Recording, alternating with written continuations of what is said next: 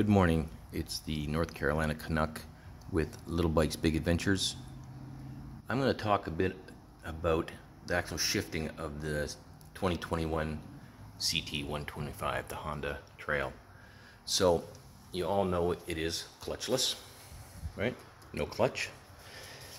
And I've been riding bikes for over 35 years, and big bikes, little bikes, dirt bikes, cruisers, sport bikes, you name it, uh, motocross, adventure bikes, scooters. There's a scooter over there. Um, there's a monkey over here I also ride.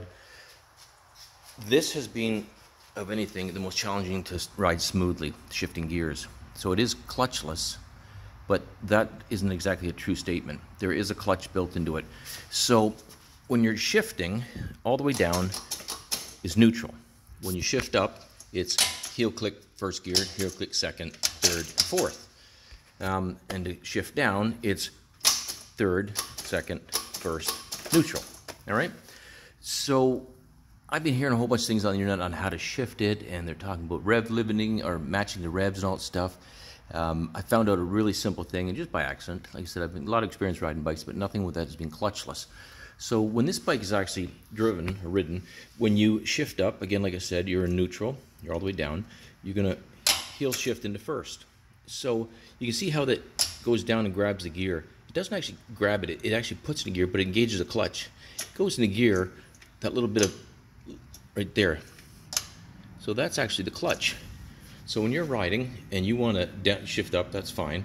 Um, relatively simple and easy. Off on the throttle, then heel down and throttle back up. When you're shifting down, let's say I'm in, let's say it's in third gear, and I'm coming up the intersection, I want to shift down a second. I actually can maintain my speed. I push down and hold it. It's actually neutral now. And the bike doesn't accelerate or decelerate. When I let up on the selector, it actually engages the clutch and the vehicle is back rolling again under its own power. Again, neutral, release slowly, and it goes into gear. So there actually is a clutch built in this bike. It's just you operate it with your foot. So if you can ride a clutch or drive a clutch car, standard car, this is very similar. That's how I basically put it in my head to get an understanding. Um, any questions, any comments, give me a shout. Again, uh, North Carolina Canuck with the Little Bikes Big Adventures channel on YouTube. I've never asked for any, but if you want to like and subscribe, go ahead and do it. Um, enjoy the day and be safe and ride safe. Thank you.